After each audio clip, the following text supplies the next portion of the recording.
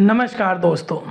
आज मैं आपको बताऊँगा कि पासपोर्ट में नाम चेंज करने की पूरी प्रक्रिया क्या है, किस तरह न्यूज़पेपर में आपको आर्टिकल लेना है, किस तरह आप पासपोर्ट सेवा केंद्र पे अपना अपॉइंटमेंट फिक्स कराएँगे। देखिए, ये सब कुछ मैं बता रहा हूँ, मेरे पर्सनल एक्सपीरियंस से। मेरे मम्मी पापा का पासपोर्ट एक्सपायर होने वाला था तो उसको मुझे रिन्यूअल करवाना था। तो उस दौरान मैंने कैसे उनका नाम जो चेंज होना था पासपोर्ट में, वो प्रक्रिया करी न्यूज़पेपर में पब्लिश किया और किस तरीके से मैंने पासपोर्ट सेवा केंद्र पर अपना अपॉइंटमेंट फिक्स कराया। सबसे पहले मैं आपको बता दूँ, आज की डेट में इंडियन पासपोर्ट इशू करवाना रिन्यूअल करवाना बहुत आसान है। इंडियन गवर्नमेंट ने इतना आसान बना दिया है टीसीएस की मदद से कि बहुत अच्छा कोलोब्रेशन है। आपको पासपोर्ट सेवा वाली वेबसाइट पर जाना है। यहाँ पर अगर आपका ऑलरेडी रजिस्ट्रेशन नहीं है तो रजिस्ट्रेशन करा लेना है। उसके बाद आपको सारी डेट वगैरह सारी डिटेल्स वगैरह फिलअप कर देनी है एप्लीकेंट की। इसके अंदर पासपोर्ट नया इशू करवाने की पंद्रह सौ रुपये फ़ीस है और रिन्यूअल कराने की पंद्रह सौ रुपये फ़ीस है। मैंने ये दोनों फ़ीस है वहाँ पर पेमेंट कर दी। उसके बाद अपॉइंटमेंट शेड्यूल हो जाता है। मतलब आप अपने अकॉर्डिंगली जिस डेट का अपॉइंटमेंट चाहते हैं, उस डेट का अपॉइंटमेंट आप फिक्स करवा सकते हैं। मैंने मम्मी पापा का अपना अपॉइंटमेंट फ़िक्स करा लिया। फिक्स कराने के बाद हम वेट करने लगे कि अपॉइंटमेंट डेट किस तारीख को है। उस जो कि हम लोग जयपुर का, हमारे सबसे नज़दीक पड़ता है तो जयपुर का जो पासपोर्ट सेवा केंद्र है, हम वहाँ पर उस दिन जाना था 20 तारीख को, जब हमारा अपॉइंटमेंट फिक्स था। हम 20 तारीख को अपॉइंट पासपोर्ट सेवा केंद्र पे पहुँच गए। सबसे पहला काउंटर वहाँ आता है, वहाँ पर आपको जो print application form enter appointment letter का होता है, वो शो करना होता है। वो अपने सिस्टम में देख के आपको बता देते हैं कि आपको किस काउंटर पे जाना है। जब आप उस काउंटर पे जाते हैं तो जिसका भी पासपोर्ट रिन्यूअल या नया बनना होता है, उसका बायोमेट्रिक वेरिफिकेशन होता है, उसका फ़ोटो खींचा जाता है प्लस जो जो डॉक्यूमेंट सपोर्टिंग डॉक्यूमेंट्स वो लेके आया है, वो सब वो सिस्टम में एंटर कर देता है। वहाँ वाला व्यक्ति आपको ये बिल्कुल नहीं बताता कि क्या सही है, क्या गलत है, क्योंकि वह टी का एम्प्लॉय होता है, उसका काम सिर्फ़ आप जो भी रिकॉर्ड लेके आए वो फ़ीड करना होता है। अब उसके बाद क्या होता है कि आपको वहाँ पर एक वेरी वेरी बायोमेट्रिक वेरिफिकेशन हो गया डॉक्यूमेंट वेरिफिकेशन डॉक्यूमेंट अपलोड वगैरह स्कैनिंग वगैरह, सब वो वहीं की वहीं कर लेता है। उसके बाद वो आपको भेज देता है गैजेटेड ऑफिसर के पास। मतलब क्या था कि अब तक आप जिन लोगों से डील कर रहे थे, वो थे टीसीएस के एम्प्लॉय अब आप जिस व्यक्ति से डील कर रहे हैं, वो इंडियन गवर्नमेंट का गैजेटेड ऑफिसर है, जो कि एक्सटर्नल अफेयर वाली मिनिस्ट्री में एक पद पर एम्प्लॉय है।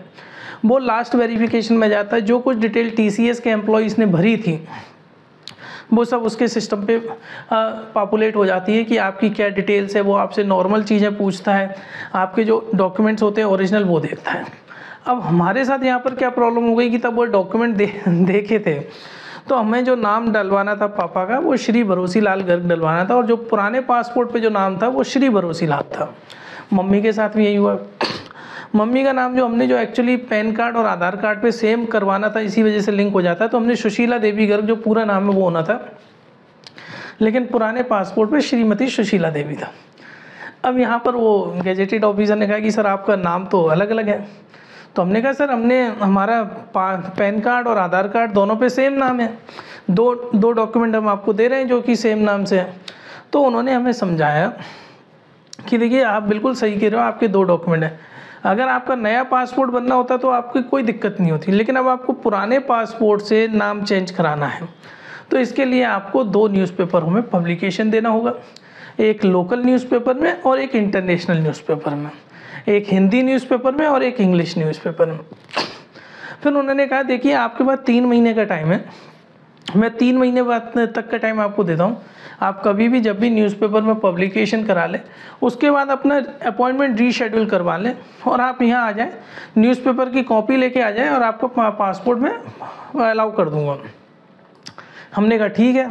फिर हम, हमारा मेरा एक हेडेक हो गया कि यार अब न्यूज़पेपर में दो न्यूज़पेपरों में पब्लिकेशन देना है नेम चेंज का अब क्या किया जाए?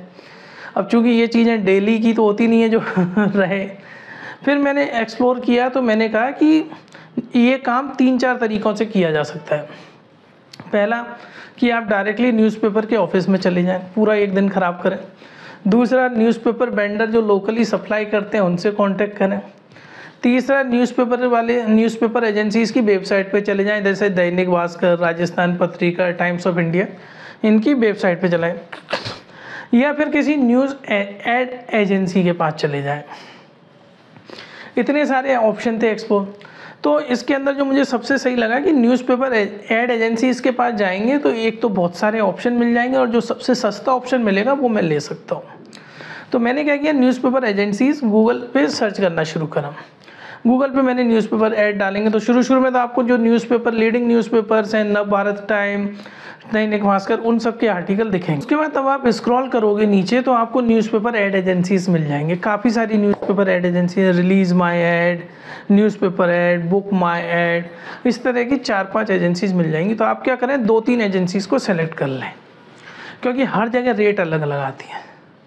ये मैंने, मेरा खुद का ऑब्जर्वेशन है, किसी एक पे भरोसा ना करें, क्योंकि अलग अलग एजेंसीज़ के तब रेट आप देखोगे ना, मान के चलो आपको दैनिक भास्कर में पब्लिकेशन करना है। एक न्यूज़पेपर एजेंसी ढाई हज़ार बता रहा है, एक पंद्रह सौ बता रहा है, एक चार सौ बता रहा है। तो जो लोएस्ट बता रहा है, उसी पर ही आप जाएँ। क्योंकि मेरे साथ हो चुका है। शुरू में मैं गया, एक पे तो एक ने मुझे ढाई हज़ार बताया। मैंने कहा, ये क्या है? और एक ने टाइम्स ऑफ़ इंडिया में सिर्फ़ साढ़े तीन सौ रुपये में मेरा काम कर दिया। तो वो वाली चीज़ है कि वो थोड़ा ध्यान रखें आप। अब जैसे ये देखो, ये मैंने बुक किए, मैंने दो ऐड बुक करे, एक आठ मई को, एक नौ मई को। टाइम्स ऑफ़ इंडिया में मैंने बुक किया, उसके मुझे तीन सौ अठहत्तर रुपये लगे। और एक मैंने किया राजस्थान पत्रिका में, ग्वालियर संस्करण में। उसमें मुझे आठ सौ अट्ठासी रुपये लगे। तो टोटल मेरा ग्यारह सौ, बारह सौ रुपये में दोनों न्यूज़पेपर के पब्लिकेशन का काम हो गया। अब उसके बाद जो न्यूज़पेपर पब्लिकेशन में, ये देखिए, पापा का जो न्यूज़पेपर पब्लिकेशन हुआ था, वो सिंपल एक सिंपल एक लैंग्वेज होती है।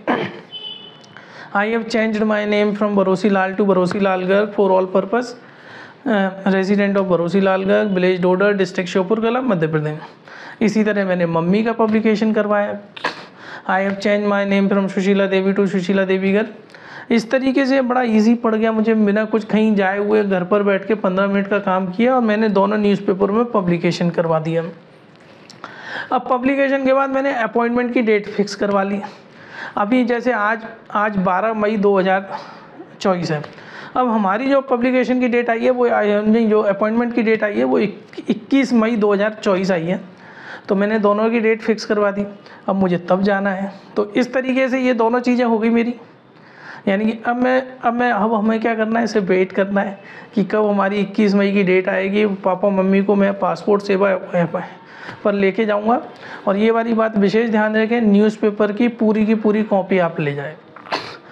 क्योंकि न्यूज़पेपर एक साथ लेना इसलिए ज़रूरी है क्योंकि बैक डेट का न्यूज़पेपर मिलना बहुत मुश्किल है। अगर आप ये सोचो कि मैं आज से पाँच दिन या दस दिन वाला न्यूज़पेपर ले लूँ, बड़ा मुश्किल है क्योंकि उसका कोई कलेक्शन कोई करता नहीं है, वो सिर्फ़ रद्दी के भाव ही रहता है। हाँ आप किसी ऐसे व्यक्ति को जानते हैं जिसके घर पे न्यूज़पेपर आता है तो तो ठीक है। तो इसलिए अपनी एक दो कॉपी बिल्कुल संभाल के रख लें, नहीं तो आप अच्छी खासी प्रॉब्लम में आ जाएँगे।